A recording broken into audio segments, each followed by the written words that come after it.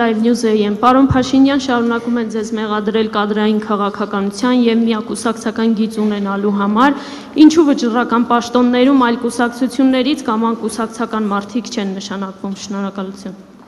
Պաշտպանության նախարարի պաշտոնը վճռական է, թե չէ։ Ֆինանսների նախարարի պաշտոնը վճռական է, թե չէ։ Էկոնոմիկայի նախարարի պաշտոնը վճռական է, թե չէ գյուղատնտեսության արդեն լուծարված նախարարի պաշտոնը վճռականա թե չէ էներգետիկայի նախարարի պաշտոնը վճռականա թե չէ ենթադրենք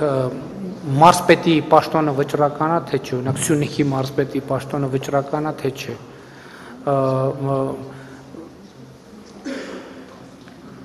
Տուրիզմի կոմիտեի ղեկավարի պաշտոնը վճռականա թե չէ փոխվարչապետի պաշտոնը վճռական է թե չէ արտաքին գործերի նախարարի պաշտոնը վճռական է թե չէ ջրային ռեսուրսների կոմիտեի ղեկավարի պաշտոնը վճռական է թե չէ Այս պաշտոններից նշածը որևէ մեկը վճռական էր թե չէ կամ վճռական էին Իսկ մնացածում էլի նշանակածներին քննադատում են դրան, ինչպես եք վերաբերում։ Այս այս իրանց չեն։ Հա այդ կադրային կադրային քաղաքականությունը ամենասիրած թեման է, չէ։ Իսկ ինչ է պատահել։ Այսինքն այս այդ կադրային քաղաքականության արդյունքում ունենք այս արդյունքը, որը մեկ կարող բացատրի, ինչ է պատահել։ Որ կատաստրոֆա է տեղի ունեցել։ Այդ որ ասում են վատ կադրային քաղաքականություն։ Ասենք Ինչ ա եղել այդ կադր, կադրերը ինչ են արել։ Ինչ չեն արել։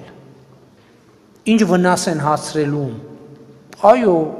վատ կադրային քաղաքականություն առողջապահության նախարարի տեղակալ, որը կաշառքի վրա բռնվել է։ Վատ կադրային քաղաքականություն։ Այո, ընդունում եմ էներգետիկայի նախարարի տեղակալ, որ նախկինից է եկել եւ այդ պաշտոնում թողնվել է եւ իր այդ կապված քրեական գործ է հարուցվել։ Սամադրական դատա հիմա սուպեր վարչապետ եմ թե չէ։ Ախր ժողովուրդն սամադրական դատարանի հետ Սամադրական դատարանի անդամները ցմա նշանակված կամ ինչ որ ժամկետով նույնն էլ բարձրագույն դատական խորհրդի։ Հիմա պատկերացնում եք ես ես մտնեմ Համ ես ասում եմ եկեք կողմնորոշվենք։ Մենք ուզում ենք սուպեր վարչապետական համակարգ, թե չէ։ Մի կողմից ասում են, այ դու սուպեր վարչապետ ես։ Մյուս կողմից ասում են, բայն չի համադրական դատարանը, բայն չի բարձրագույն դատական խորհուրդը, բայն չի ես մեկը, բայն չի ես մեկը շնչեց, բայն չի մեկը արտաշնչեց, բայն չի մեկը դերևս բրաբուսով ման գալիս։ Ինչե մեկը հանգիստ սրճարանում նստած։ Պետքա կողմնորոշ մի հատ բացատրեք ինչ ինչ խնդրեմ կա կադրային քաղաքականության հետ։ Հա ինչ որ մեկը ինչ որ մեկին ավել կամ պակաս է դուր գալիս։ Այո, բայց տեսեք դուք նոր նոր երանգ եք վերում, որովհետև մի ուրիշ տեսակետ կա, որովհետև նորա նոր խոսում էր, որ եթե նորա ուրեմն վատնա։ Եթե նորա ուրեմն վատնա, եթե հինա ուրեմն վատնա։ Եթե ոչ նորա, ոչ հինա ուրեմն վատնա։ Եվ ես ասում եմ Հայաստանի Հանրապետությունում բոլոր ոլորտներում ես ձեզ ասեմ, կա կադրային խնդրեմ։ Բոլոր ոլորտներում։ Հիմա եկեք գնանք IT ոլորտի ժողովրդին հարցնենք, կադրային խնդրեմ ունեն թե չունեն։ Եկեք գնանք սպասարկման ոլորտին հարցնենք։ Օրինակ երկու օր առաջ մի ռեստորանատեր ինձ հետ բողոքում էր, ինձ հետ խոսակցության ժամանակ բողոքում էր, ասում էր չեմ կարող նորմալ խոհարար գտնեմ, չեմ կարող նորմալ մատուցող գտնեմ։ Հայաստանում բոլոր ոլորտներում կա կադրային խնդրեմ։ Ինչու՞։ Որովհետև Հայաստանի Հանրապետությունում գաղափարախոսությունը մարդկանց աշխատանքի խրախուսելը չի եղել։ Որովհետև Հայաստանի Հանրապետությունում արդեն 20-25 եւ ավելի տարի մոդելը, այդպես ասած անգլերեն ռոլ մոդելը օլիգարխնա, կրիմինալնա, իշխանական այս կամ այն հաստավից падգամավորն է։ Ինչի, ով աշխատի, թող բանա, չէ, գողական գաղափարով ով աշխատ, տրակտորը թող աշխատի, մենք խի պետք է աշխատենք։ Հա, չէ, չեք ծիծաղում եք, բայց դա բան է, գաղափարախոսական կետ է։ Բայց մարդիկ այս մեր երիտասարդությունը մեր ժողովուրդը տեսել են, որ մեր երկրում հաջողություն ունենալու համար պետք է լինել մաքսիմալ 1000 ներողություն, էլ sense բառեր եմ օգտագործում։ Պետք է լինել տգետ, պետք է լինել բռի, պետք է կրիմինալ լինել, գողական բարքերով ապրել։ Բա բա այդ է խնդրեմը։ Պկար չէ, վարչապետ ասում էր ինչի քաղաքականությամբ զբաղվել մար խելք պետք է։ Հաստատ մեկ ճիշտ է, Բանը տրենդ է դա եղել, ոչ մի բանով զբաղվելու համար խելք պետք չի։ Սիլա ես ուման ենադը։ Հիմա այդ տրանսֆորմացիան է տեղի ունենում, որ ոչ ամեն ինչի համար առաջինը միտքն է։ Սա հին եւ նոր Հայաստանի երկու բևեռն է, որ այն հին Հայաստանը ինչի քաղաքականությամբ զբաղվելու համար խելք պետք է, նոր Հայաստանը ասում է, որ ամեն ինչը, բոլոր լուծումները մեր մտքում են։ Եվ մեր բոլոր խնդիրները ինտելեկտուալ ոլորտի խնդիրներ են։ Իսկ մեր կադրերին, ասենք, ասենք մեկը թող հոդապաշ բացատրի ինչ խնդրեմ կա մեր կադրային քաղաքը։ Գող են, ավազակ են, բոլորը չեն, որ բավարար չափով արդյունավետ են իրենց աշխատանքի մեջ։ Հայո, բոլորը չեն։ Բայց բայց ես օրինակ ձեզ մի բան ասեմ։ Հիմա ես մտածում եմ, այսօրվա մեր բյուջեի բաներին նայում եմ, տվյալներին նայում եմ եւ հիշում եմ անցած տարեվերջի սկանդալը, եւ ես հիմա հասկանում եմ, որ եթե ես հանկարծ թուլություն ցուցաբերեի եւ այդ լայնածավալ հարցակումը, որ տեղի էր ունենում պետական եկամուտների կոմիտեի նկատմամբ, Եվ ես այնտեղ ինչ որ ինչ որ ավերածություններ գործեի, այսօր մենք կունենայինք, ասենք այդ բանին տրվելով, էլի, այդ էմոցիոնալ ֆոնին տրվելով։ Այսօր մենք կունենայինք ոչ թե բյուջեի եկամուտների կատարման այսպիսի ցուցանիշներ, այսօր մենք հազիվ հնարավոր է հազիվ կատարենք եւ հնարավոր է թերակատարենք նաեւ։ Եվ ես շատ հպարտ եմ, որ ես այդ իրավիճակում հravirեցի պետական եկամուտ, երբ որ ամբողջ Հայաստանը հայհոյում էր պետական եկամուտների կոմիտեին։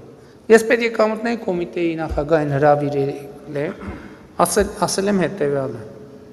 որ խնդիրը ես հստակ ձևակերպել եմ ձեզ այդ պաշտոնում առաջադրելու պահից։ Մենք պետքա պետական եկամուտների աճ ունենանք։ Եթե դուք այդ խնդիրը լուծեք, ես ձեզ բոլոր հնարավոր միջոցներով կպաշտպանեմ։ Եվ եւ ես շատ ուրախ եմ, եւ ես շատ շատ ուրախ եմ, որ ես այդպես եմ վարվել։ Եվ ընդհակառակ այդ ապարքեվատրումների ֆոնին եւ ես ուրախ եմ, երբ որ նրանք առաջին անգամ եկան ասին 40 միլիարդը ստանձնում ենք, որ երակատարենք, ես ասացի ուրեմն ձեր ակնկալիքը, որ 1.4 միլիարդ դրամով ապարքեվատրման ֆոնդը լրացնենք, ես այդ կապահովեմ։ Որտեվ ես հասկանում եմ նաև, որ 200.000 դրամով աշխատող մաքսա մաքսավորին մենք հետո ասում ենք կաշառքա վերցնում։ Եվ մենք այսօր ունենք այսպիսի ցուցանիշներ։ Ես ուզում եմ ասեմ Ժողովուրդ ջան, որ միշտ չի, որ այն ինչ որ sense էմոցիոնալ ֆոնին տենց երևում, աթվում է թե չի ակնհայտ է, չէ, ցույցեր են անում, ջնջեք, փրթեք, թափեք բոլորին։ Բա հանկարծ ես թուլություն ցուցաբերեի այդ անեի։ Մենք այսօր կատաստրոֆիկ իրավիճակ կունենայինք։ Առնվազն բյուջեի կատարման առումով։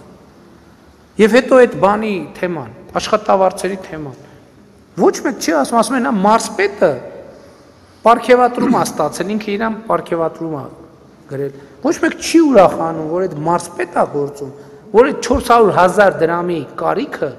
ռեալ ունի։ Ունի այդ 400.000 դրամի կարիքը։ Վերջին անգամ Հայաստանի Հանրապետությունում դուք երբեք մարսպետ տեսե, որ 400.000 դրամի կարիք ա ունեցել։ 400.000 դրամ 10000 հատնեն 400.000 դրամ։ Ումա պետք։ Ոնց է պետք։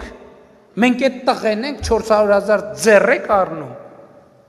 Փոխանակ ուրախանան, որ երկրում մարսպետներ են հայտնվել, որ 400.000 դրամի կարիքը ունեն, Չեն հաշվում էր, որ այնա ամբողջ պետական համակարգը առավոտից իրիկու գրփելի սա եղե ու թալանելի սա եղե։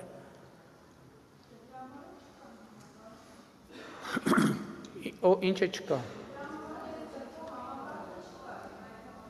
Չէ, բայց ես ուրիշ բան եմ ասում, դուք բոլորդ ես Դավոսում որ մի, մի մտա մի պահ տեսա մամուլում Facebook-ում ինչա կատարվում, Գնդակահարում էիք ամենօրյա ռեժիմով այդ մարզպետներին։ Գնդակահարում, բարոյապես ոչնչացնում։ Ոչ մեկ չէր ասում, այ դեր ցավը տանեմ։ Մարզպետա, որը 400.000 դրամի կարիք ունի։ Այո, դուք էլ ունեք եւ այ շատ շնորհակալություն է դիտարկման համար որտեւ ասում են այ փոխանակ բանը թոշակը ավելացնեք եթե պետեկամուտների կոմիտեն Հիմա այդ ապարքեվատրման ֆոնդը մենք չտայինք, մենք չենք այսօր զինվորականների աշխատավարձը բարձրացնելու, ուսուցիչների աշխատավարձը բարձրացնելու։ Որովհետև ասում են, որովհետև ես կառավարության նիստում ասի, երբ որ մենք այդ չինովնիկների աշխատավարձը բարձրացնում ենք, իրանց համար չենք բարձրացնում։ Այլ են կարիք ունեցողների համար ենք բարձրացնում, որ նրանց աշխատանքը դնենք, ասենք, որ տեսեք, Զինվորականների աշխատավարձը պետքա բարձրանա, ուսուցիչներինը պետքա բարձրանա, նպաստները պետքա բարձրանա։ Աշխատավարձերը պետքա բարձրանա։ Եվ մենք այսօր այդ արդյունքը արդեն ունենք։ Ես այսօր ձեզ փաստեր եմ ներկայացրել, որոնք ոչ մեկ չի կարող հերքել։ Այնտեղ կարող ասենք, լավ, ինչ որ մի հատ երկու հատ լինի, ես բոլոր անձամբ չեմ գնացել ստուգեմ, բայց համոզված եմ, որ անհերքելի փաստեր եմ ներկայացրել։ 129 միլիոն դոլար 64 Ես բա ինչի՞ չեք ասում։ Ես հեղափոխության ժամանակ ասել եմ պետական բյուջեի եկամուտները պետքա 1-2 տարով 30-ից 40%-ով ավելանան։ Այսօր արդեն այս տարվա առաջին երամսյակի արդեն 25%-ով ավելացել է պետական բյուջեի եկամուտները։ Եվ ես կարծում եմ, որ այդ պետական чиновниկները, պետական ծառայողները պետքա պատշաճ մակարդակով աշխատավար ստանան, որ մյուս բոլորի կարիքների վրա կենտրոնանան։ Մենք պետական ծառայողների աշխատողների իրանց համար չպետքա բարձրացնենք, այլ ժողովրդի համար պետքա բարձրացնենք, որ նրանք ժողովրդին ծառայ պատշաճ ծառայություն մատուցեն։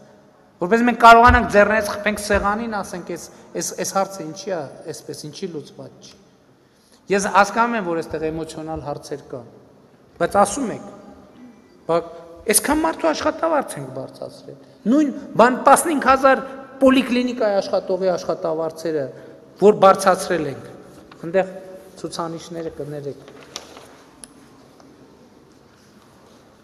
100 Պոլիկլինիկայի աշխատողների աշխատավարձը, որ բարձրացրել ենք իրանց համար, ենք բարձրացրել։ Ոչ ժողովրդի համար ենք բարձրացրել, որովհետև սա շանս է ստեղծում պոլիկլինիկան, ինչքան լավ մասնագետ կար, ոչ մեկ պոլիկլինիկա չէր, չէր մնում աշխատելու։ Եվ մարդը ամենապրիմիտիվ հիվանդության համար, որ գրում էր պոլիկլինիկա, ուղարկում էին հիվանդանոց վճարովի ծառայության։ Որովհետև այնտեղ չկար մասնագետ, բա մենք հիմա աշխատավարձը բարձրացնում ենք, որ նորմալ մասնագետը այնտեղ մնա եւ էժան ծառայություն մատուցի։ Հայաստանի Հանրապետության քաղաքացուն։ Ժողովուրդ ջան, այս բաները ակնհայտ չէ։ Բայց ճիշտ է որ հիմա տենց տեղերից արդեն սկսենք խառը Խնդրեմ հա Դե հաջորդ հարցը։ Պոիսկ Գրիգոր Էմինտերյան։ Պարոն վարչապետ, սովետական Հայաստանի կառավարությունը կարևորելով